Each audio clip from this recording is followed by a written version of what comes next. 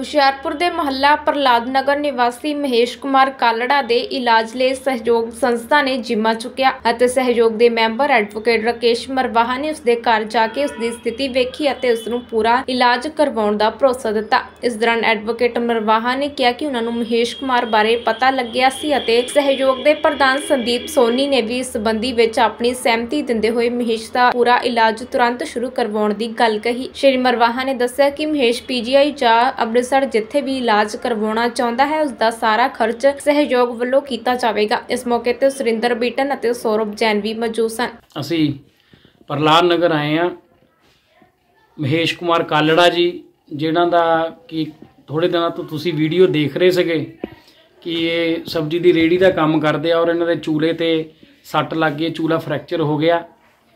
ਔਰ ਇਹਨਾਂ ਡਾਕਟਰਸ ਨੂੰ ਦਿਖਾਇਆ, ਐਕਸ-ਰੇ ਵਗੈਰਾ ਵੀ ਹੋਏ ਆ। ਔਰ ਬੜੀ ਦੇਖ ਕੇ ਅੱਜ ਇੱਥੇ ਇਹਨਾਂ ਦੇ ਘਰ ਆਣ ਕੇ ਬੜਾ ਮਹਿਸੂਸ ਹੋ ਰਿਹਾ ਕਿ ਪਰਮਾਤਮਾ ਗਰੀਬੀ ਵੀ ਕਿਸੇ ਨੂੰ ਨਾ ਦਵੇ।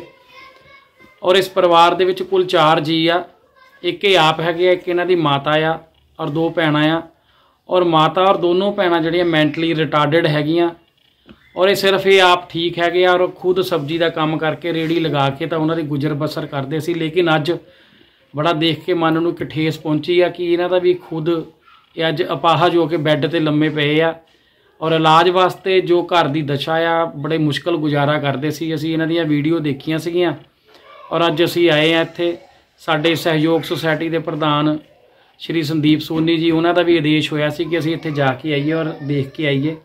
ਔਰ ਉਹਨਾਂ ਦੇ ਆਦੇਸ਼ ਮੁਤਾਬਕ ਅਸੀਂ ਅੱਜ ਆਪਣੀ ਸੁਸਾਇਟੀ ਵੱਲੋਂ ਕੱਲ ਤੋਂ ਹੀ ਇਹਨਾਂ ਦਾ ਜਿਹੜਾ ਇਲਾਜ ਆ, ਜਿੰਨੇ ਵੀ ਪੈਸੇ ਇਹਨਾਂ ਦੇ ਇਲਾਜ ਤੇ ਲੱਗਣਗੇ ਚਾਹੇ ਇਹ ਹੁਸ਼ਿਆਰਪੁਰ ਕਰਵਾਉਣਾ ਚਾਹਣ ਜਾਂ ਪੀਜੀਆਈ ਜਾਂ ਅੰਮ੍ਰਿਤਸਰ, ਜਿੱਥੇ ਵੀ ਇਹਨਾਂ ਨੂੰ ਠੀਕ ਲੱਗੇਗਾ ਔਰ ਕੱਲ ਤੋਂ ਹੀ ਅਸੀਂ ਇਹਨਾਂ ਦਾ ਜਿਹੜਾ ਇਲਾਜ ਆ, ਉਹ ਕਰਵਾਵਾਂਗੇ ਆਪਣੀ ਸਹਿਯੋਗ ਸੁਸਾਇਟੀ ਵੱਲੋਂ।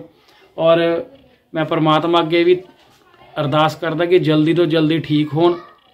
ਔਰ ਜਿੰਨਾ ਵੀ ਇਹਨਾਂ ਦਾ ਆਪਰੇਸ਼ਨ ਦਾ ਮੈਡੀਸਨ ਦਾ, ਜਿੰਨਾ ਵੀ ਖਰਚਾ ਇਹਨਾਂ ਦਾ ਆਏਗਾ, ਉਹ ਸਾਡੀ ਸਹਿਯੋਗ ਸੁਸਾਇਟੀ ਕਰੇਗੀ। ਔਰ ਮੈਂ ਧੰਨਵਾਦ ਕਰਦਾ ਇੱਕ ਵਾਰ ਫਿਰ ਆਪਣੇ ਸ- ਪ੍ਰਧਾਨ ਸਾਡੇ ਸੰਦੀਪ ਸੋਨੀ ਜੀ ਦਾ, ਜਿਨ੍ਹਾਂ ਨੇ ਇਹ ਜਿਹੜਾ ਕੇਸ ਆ, ਉਹਨਾਂ ਨੇ ਵੀ ਦੇਖ ਕੇ ਖੁਦ ਇਹਨਾਂ ਨਾਲ ਵੀ ਗੱਲ ਕੀਤੀ ਔਰ ਫਿਰ ਮੈਨੂੰ ਵੀ ਉਹਨਾਂ ਦਾ ਫੋਨ ਆਇਆ ਕਿ ਤੁਸੀਂ ਉੱਥੇ ਇਮੀਡੀਏਟਲੀ ਜਾ ਕੇ ਆਓ ਔਰ ਜੋ ਵੀ ਹਾਲਾਤ ਆ, ਉਹਦੇ ਬਾਰੇ ਦੇਖ ਕੇ ਤਾਂ ਜਿੰਨੀ ਜੋ ਵੀ ਕਾਰਵਾਈ ਆ ਕਰੋ ਤੋਂ ਅੱਜ ਮੈਂ ਇੱਥੇ ਆਇਆ ਸੀ, ਮੇਰੇ ਨਾਲ ਸੌਰਵ ਜੈਨ ਸੀ, ਸੀਗੇ ਸਾਡੇ ਇੱਥੇ ਦੇ ਕਾਉਂਸਲਰ ਸੁਰਿੰਦਰ ਬੀਟਨ ਜੀ ਆ, ਉਹ ਵੀ ਮੇਰੇ ਨਾਲ ਬੈਠੇ ਆ। ਲੋਕ ਕਾਫੀ ਇਹਨਾਂ ਦੀ ਮਦਦ ਵੀ ਕਰ ਰਹੇ ਆ, ਘਰ ਦਾ ਜਿਹੜਾ ਖਰਚਾ ਆ, ਰਾਸ਼ਨ ਪਾਣੀ ਆ, ਲੋਕ ਦੇ ਰਹੇ ਲੇਕਿਨ ਜਿਹੜੀ ਇਹਨਾਂ ਦੀ ਬਿਮਾਰੀ ਆ, ਜਿੰਨਾ ਵੀ ਇਹਦੇ ਤੇ ਪੈਸਾ ਲੱਗੇਗਾ ਉਹ ਸਾਡੀ ਸੰਸਥਾ ਜਿਹੜੀ ਅਸੀਂ ਆਪਣੇ ਵੱਲੋਂ ਲਗਾਵਾਂਗੇ ਔਰ ਕੱਲ ਤੋਂ ਹੀ ਇਹਨਾਂ ਦਾ ਜਿਹੜਾ ਇਲਾਜ ਆ ਔਰ ਸ਼ੁਰੂ ਕਰਵਾ ਦਿੱਤਾ ਜਾਏਗਾ ਔਰ ਮੈਂ ਪ੍ਰਮਾਤਮਾ ਅੱਗੇ ਅਰਦਾਸ ਕਰਦਾ ਹਾਂ ਕਿ ਇਹਨਾਂ ਨੂੰ ਜਲਦੀ ਤੋਂ ਜਲਦੀ ਜਿਹੜੀ ਆ ਸਵਾਸਥ ਪ੍ਰਦਾਨ ਕਰੇ ਤਾਂ ਕਿ ਇਹ ਦੁਬਾਰਾ ਆਪਣੇ ਕੰਮ ਤੇ ਜਿਹੜਾ ਆ ਮੁੜ ਕੇ ਆ ਸਕਣ ਧੰਨਵਾਦ ਜੀ 10 talent news the report We are a multicultural network community. We groom competent global citizens to effect positive change around them.